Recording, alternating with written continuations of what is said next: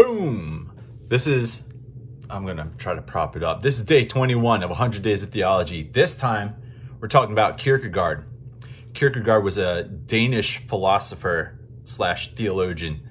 He's understood as starting the existentialism mode of thinking in philosophy. But he has this fantastic book um, that when I first read it, it kind of blew my mind. Mm, it's this Purity of Heart is the will one thing. So if you understand the title, then you get the book. But if you read the book, you'll really understand the title. Now, he says, uh, purity of heart is to love one thing at a time. He says a lot of us go through life uh, loving multiple things rather than just one thing. And so that's that causes a split of heart, a split of soul, a split of motives. And then he goes on to say we can actually only love one thing ever. And he says that's the good.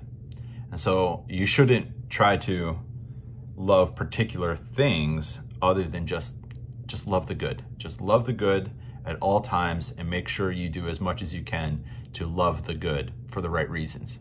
Because then he goes into a little bit more. He says some of us don't actually love the good. What we love is rewards for doing the good.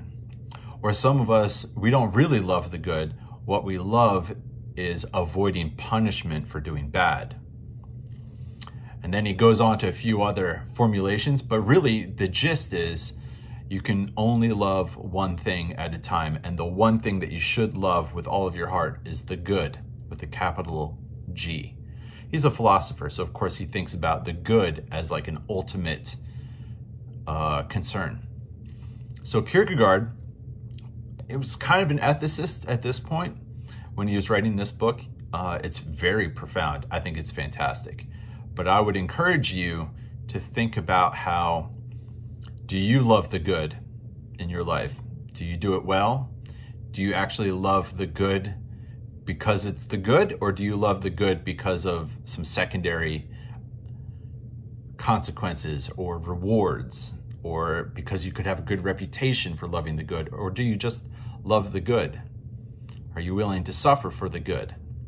So, this is one of those instances where theology and philosophy kind of overlap because Kierkegaard would then go one step further than a philosopher might and say that the ultimate good with a capital G is Yahweh.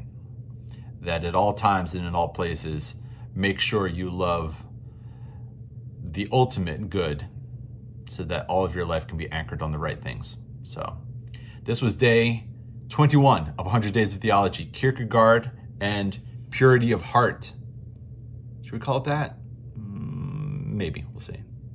Have a good one.